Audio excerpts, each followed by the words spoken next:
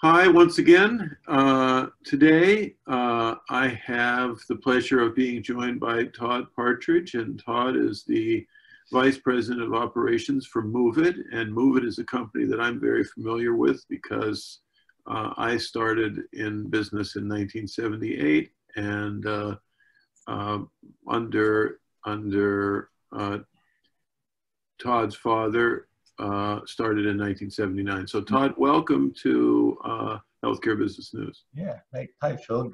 Great to see you again, and uh, and appreciate the opportunity to do this. Thank you so much for doing this. Yeah, and you know you're a really positive guy. When anyone's ever around you, they always have a good feeling. Uh, tell me, how has the industry uh, what's going on in the in the third party logistics business that we need to know about? It's you know it's it's this pandemic has affected everyone differently, um, and not positively in, in in any sense with almost anybody. Um, transportation, third party logistics, uh, it's has had its challenges for sure, and it's also um, we've all all of a sudden everybody is learning about supply chain.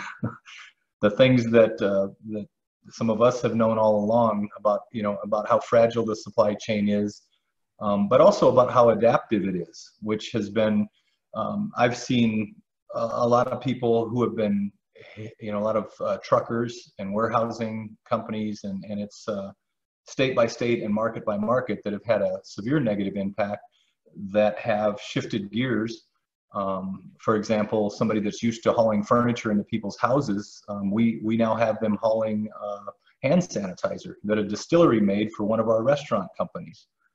Things like that. Um, you know, so I think it, it, it, points to some weaknesses, but it also points to some strengths, and uh, and that's that's my takeaway from it so far.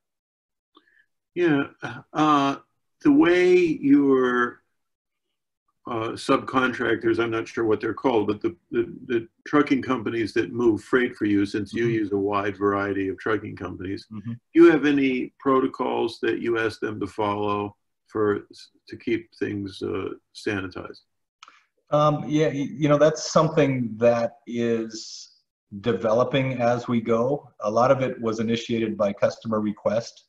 Um, so, for example, early on, um, you know, before, you know, there's kind of this thing is kind of a wave, right? Before we all knew exactly what it was, and then we know what it is, and then, you know, how it's changing as it goes on. Um, we did some deliveries um, when New York City was on lockdown, for example. We, you know, transportation as an essential uh, element or entity, we were able to go into New York City with uh, supplies, um, ventilators, um, masks, uh, stretchers, everything you can think of um, into New York City. And that was the very first time, that was early in March, I think, when we, uh, we had our first request for drivers with uh, masks and gloves.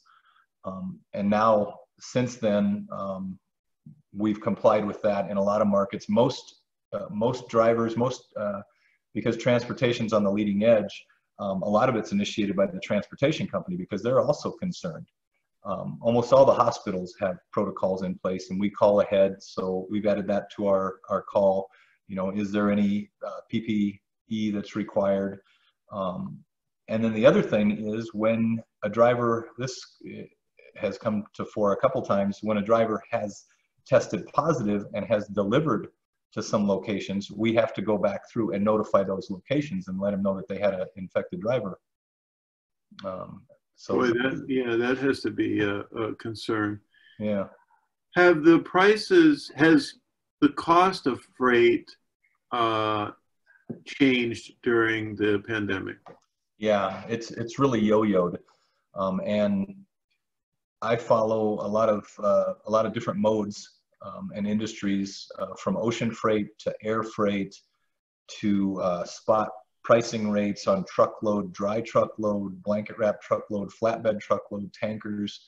Um, so there's not a broad brush answer for any of those. Um, it's really varied by um, by mode and by geographic area. So um, it's been a buyer's market in a lot of places, in a lot of industries. A lot of trucks are sitting idle. Um, I know one of my customers does uh, store fixtures, for example, a blanket wrap. In addition to doing medical and computers, they do store fixtures, and a lot of the stores stopped them. The manufacturing process continued, um, so the the factory said, "Hey, can you bring some trucks out?"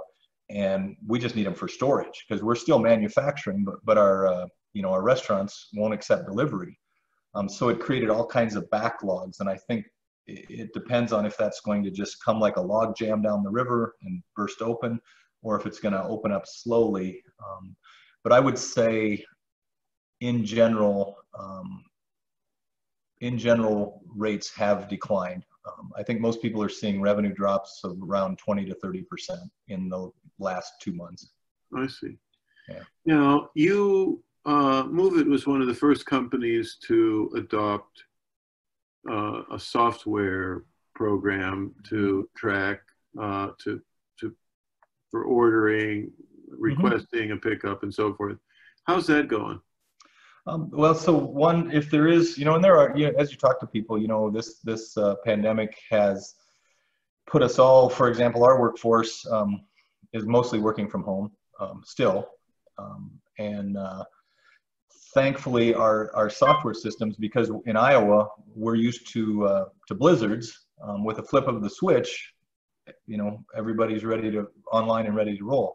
Um, so if there was a silver lining for us, um, we did, you know, our business overall declined. It, it, it, increased in some markets, but we were able to um, focus on developing some initiatives a lot for customers, um, like fine tuning our mobile app and things like that, and a customer dashboard portal for making appointments for delivery and things like that. So I would say that's, you know, when we started this business in 1979, there weren't, um, there weren't many computers at all. Everything was by paper. And I would say this, you know, it's becoming more and more and more and more automated to where um, I think Amazon drives it, the Amazon economy, um, the Amazon tools. We all become expectant that you can take a picture of the freight that, and send it, that, that, it'll be attached to the order, that you can sign from a mobile device. Um, so right. it, it's, it's become more and more important. Well, I know you're on the cutting edge, and uh, you know I, I appreciate you spending time with us today. And uh, your insights, and it's interesting. I'm sure there's a lot of people out there that uh, this is pertinent to. So thanks for joining us, Todd. You bet. Uh, thanks, thanks for having me, and our, and our thoughts go out to everyone, all of our medical uh, shippers for sure, because I know it's been a, a, trying time for them and our, and our hospital partners and people like that. So thanks for doing this. Appreciate it from Dot